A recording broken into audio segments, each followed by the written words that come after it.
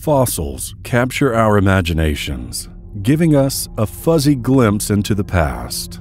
Children and adults the world over love looking at dinosaur skeletons, saber toothed tiger replicas, woolly mammoth bones, and more.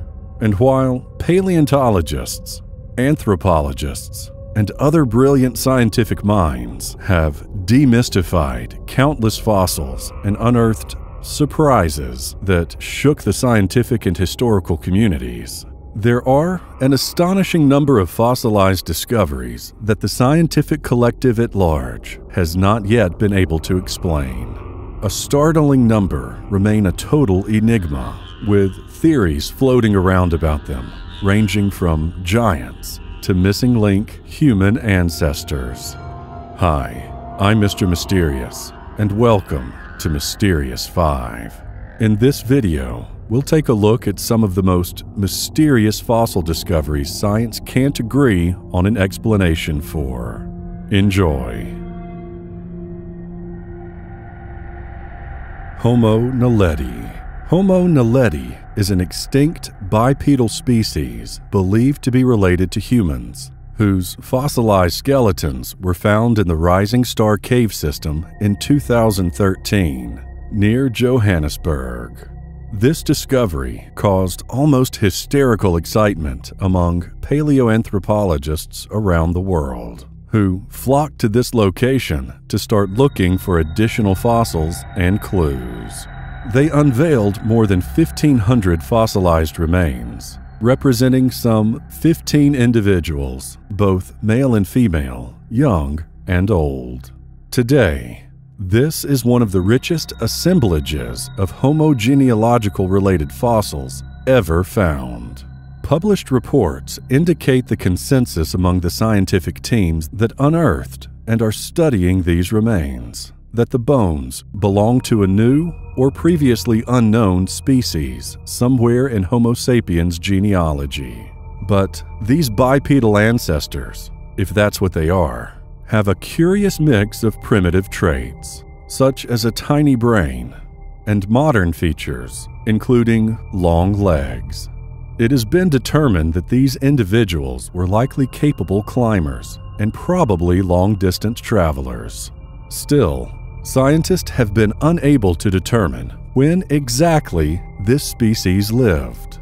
The creature's primitive characteristics suggested it was very old, but its modern traits, along with the condition of the bones, which seemed to be barely fossilized, hinted that Homo naledi lived more recently. Some of the newest available reports are suggesting that these human like fossils are between 230,000 and 330,000 years old. This raises intriguing questions about the origins and evolution of our own species.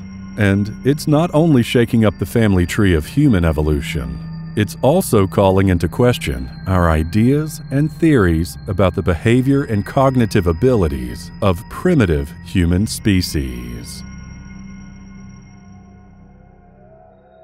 Tully Monster Discovered in 1955 by collector Francis Tully, the first Tully monster fossil completely defied explanation Paleontologists eagerly wanted to place the fossil within well known classifications, but nobody could figure out what the monster actually related to. Francis Tully took the fossil to the Field Museum in Chicago, seeking some answers. Other collectors quickly found one specimen after another, and very soon, hundreds ended up at the Field Museum. Even though we still don't know much about this creature, Many scientists believe that the Tully monster is a close relative of modern lampreys.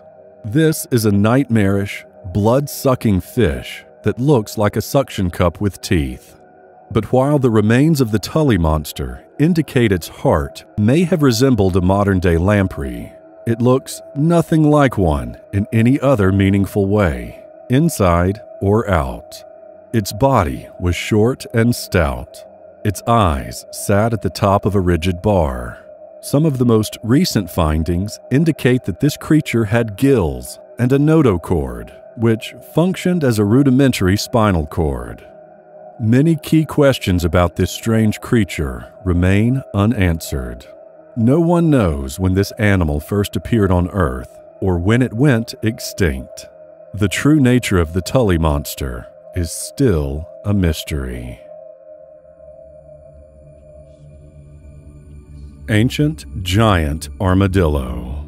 While out on a stroll alongside a stream south of Buenos Aires, Argentina, on Christmas Day in 2015, Jose Antonio Nievas spotted something peculiar sticking out of a riverbank.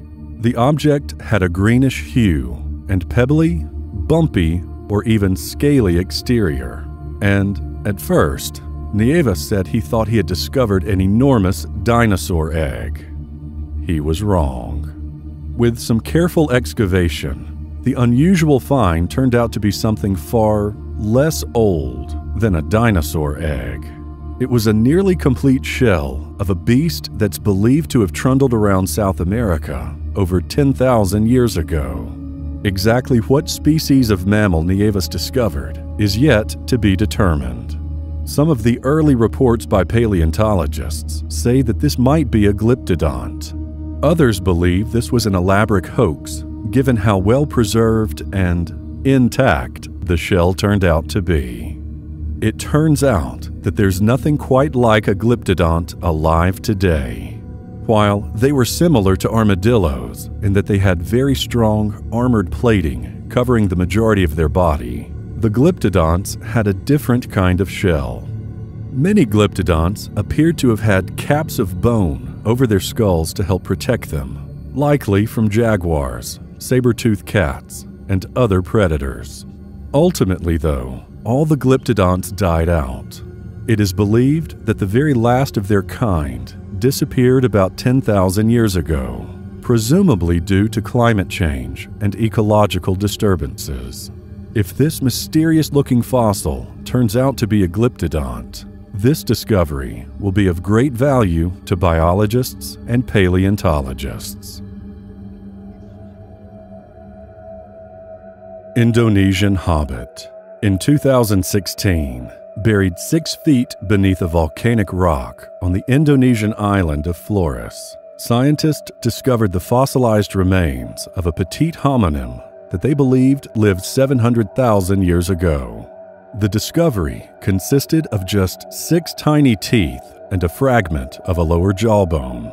However, this was enough to give the scientist reason to deduce that these mysterious looking bones could belong to a direct ancestor of the strange and diminutive human relative called Homo floresiensis, also known as the Hobbit. The world was first introduced to this species in the person of Bilbo Baggins.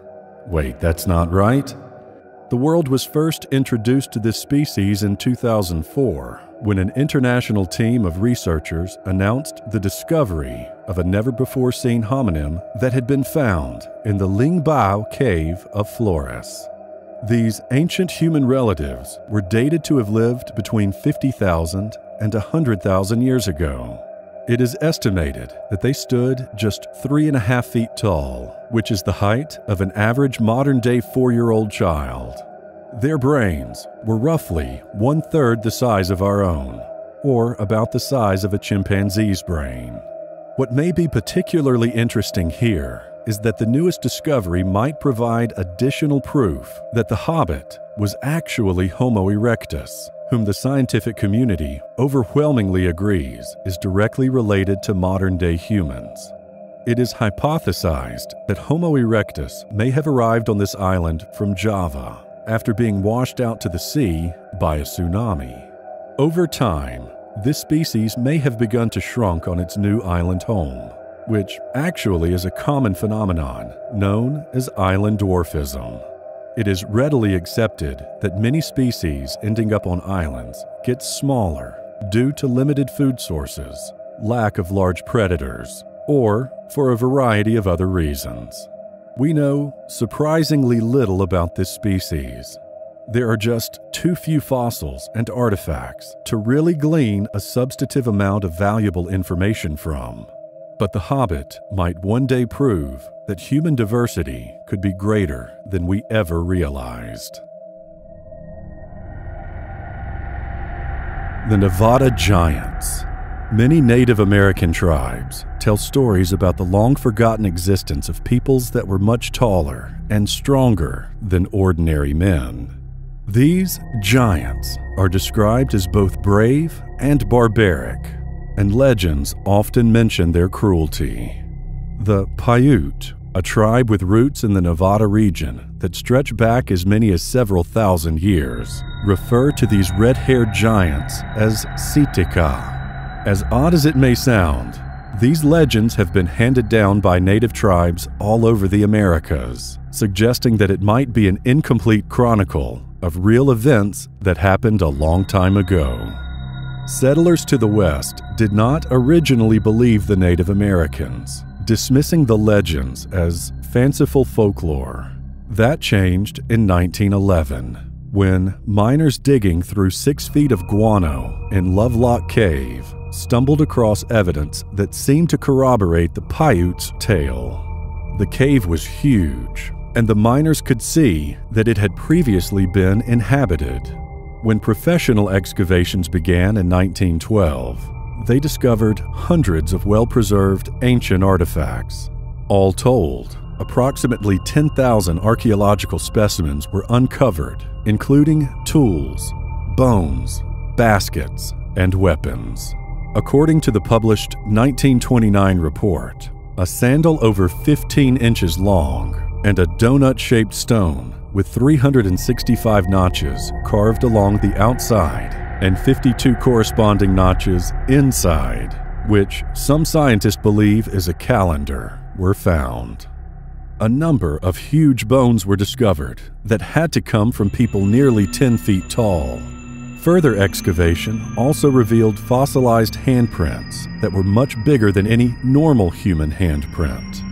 Interestingly, Radiocarbon dating, done on follow up visits, found vegetable material dating back to 2030 BC, a femur dating to 1450 BC, and human muscle tissue dating from 1420 BC. A subsequent dig in 1931 revealed a number of equally disturbing finds. According to an article published in the Nevada Review Miner, Two giant skeletons had been found buried in a dry lake bed close to Lovelock. The oversized remains, that measured 10 feet head to toe, were mummified in a manner dramatically similar to the one employed by the ancient Egyptians. Also similar to the Egyptians, these mummified giants still had remnants of red hair. Today, we don't know what happened to those mummified remains. A simple Google search will reveal numerous conspiracy theories, suggesting everything from the US government taking and hiding them to aliens coming back to claim them. Even though we can't see the mummies, rediscovered and written about over 85 years ago, several artifacts recovered from Lovelock Cave can be viewed in Winnemucca, Nevada at the Humboldt Museum. And although I've never been there, Many have reported that if you ask to view the oddly shaped skulls the curators keep hidden from the public, you'll likely be allowed to see something amazing. If you find it interesting, or if you find it mysterious, share and like this video. Also, be sure to subscribe because you don't want to miss what's coming next. As always, thank you for watching.